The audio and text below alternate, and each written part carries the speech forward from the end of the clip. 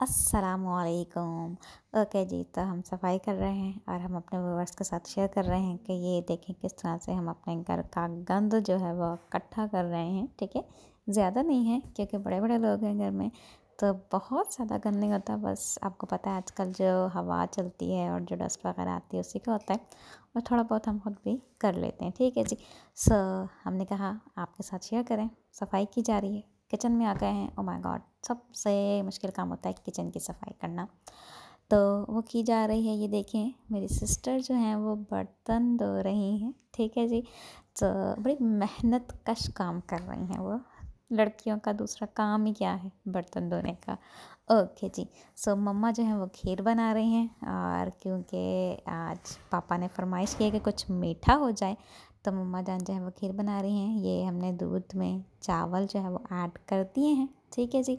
और इन्हें अब खूब पकाया जाएगा पकाया जाएगा पकाया जाएगा और फिर उसके अंदर क्या क्या डाला जाएगा आपके साथ वक्ता फ़वक्ता शेयर करते रहेंगे। ठीक है जी।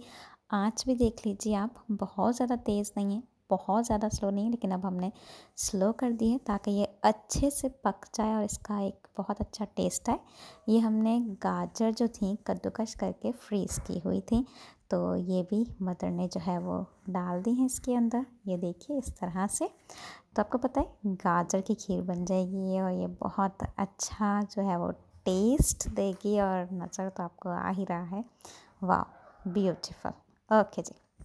सो so, अगर आप तक अभी तक आपने ज़ुबैदा पे फ़ूड सीक्रेट चैनल को नहीं किया है सब्सक्राइब तो प्लीज़ प्लीज़ जाइए सब्सक्राइब कीजिए वीडियो को पूरा लाजमी देखिएगा।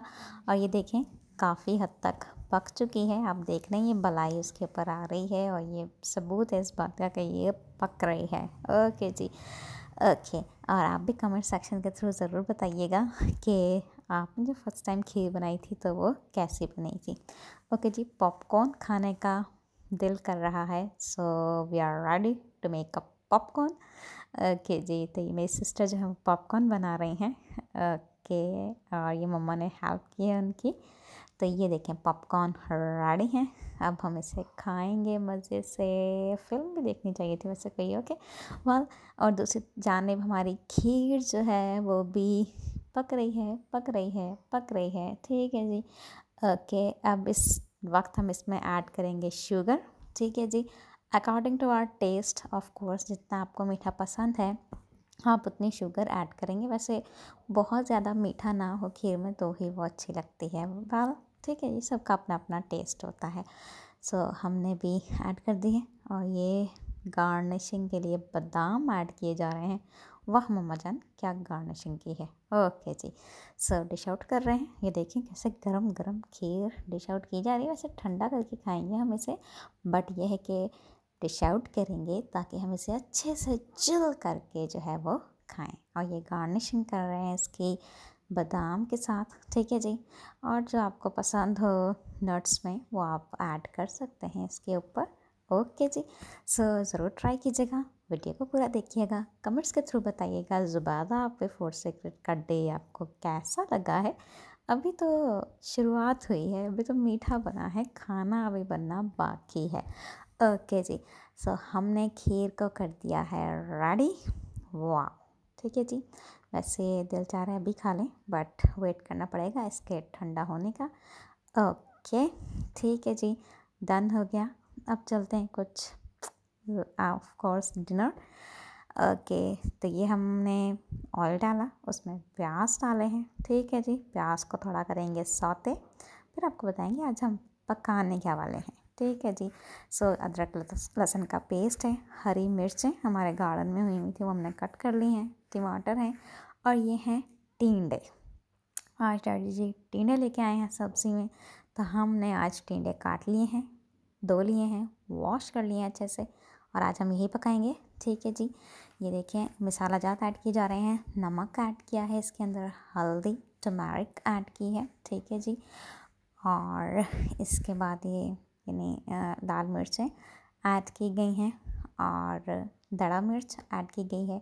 मिक्स किया जा रहा है इसे अच्छे से। ठीक है जी, खाना जो है वो हमारी मदर ही बनाती हैं और ये ज़ीरा ऐड किया जा रहा है साबुत ज़ीरा, लहसुन अदरक का पेस्ट इस तरह से। ठीक है जी, और ये डालकर अच्छे से कर लेंगे हम इसे मिक्स। ठीक है, इस तरह से। और उसके बाद हम इसके अंदर क्या ऐड करेंगे, मम्मी जान? ओके जी, ये हमने ऐड ओके जी, काली मिर्च ऐड की है। अच्छे से मिक्स कर दिया है इसे। टमाटर ऐड किए हैं। ठीक है जी, और क्योंकि आजकल टमाटर का सीज़न है तो काफ़ी सारे ऐड कर दें, क्योंकि खाने में बहुत बहुत अच्छा टेस्ट देते हैं, और अगर नहीं है तो आप योगर्ट यानी दही का भी इस्तेमाल कर सकते हैं।